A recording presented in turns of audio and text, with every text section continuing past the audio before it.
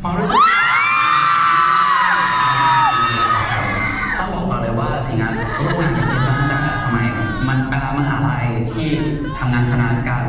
เพราะฉะนั้นแล้วเนี่ยเวลาทำงานด้วยกันเนี่ยพอมันทำงานไปเป็นนานๆนะมันจะเริ่มมีการสังเกตกันว่าเอ๊ะตรงไหนควรจะเสริมกันตรงไหนควรจะช่วยช่วยกันลดอะไรเงี้ยซึ่งการทำงานกับเทสเนี่ยเวลาที่แบบรู้สึกว่ามันโฟล์แล้วก็มันง่ายมาก โดยเฉพาะเวลาถ่ายซีรีส์เนี่ยเราจะรู้กันเองว่า เอ้ยอันเนี้ยเราจะเล่นเพิ่ม อันเนี้ยเราจะลด หรือว่าอันเนี้ยเราจะอิมพอไวส์ยังไงให้ทุกอย่างมันออกมาดี เวลาทำงานร่วมกับเอสส่วนใหญ่ทุกอย่างมันจะไปไวมากครับผม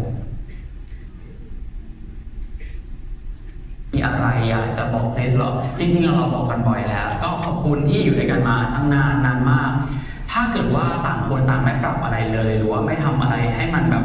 อยู่ด้วยกันได้อะก็คงอยู่ด้วยกันมานานขนาดนี้ไม่ไหวถูกปะเพราะฉะนั้นเนี่ยก็ขอบคุณมากจริงๆที่ช่วยช่วยๆกันปรับช่วยช่วยๆกันลดช่วยช่วยๆกันเพิ่มในสิ่งที่ควรจะทำอะไรเงี้ยครับผมแล้วก็ขอบคุณที่อดทนด้วยกันมาตั้งนานแล้วยังไงก็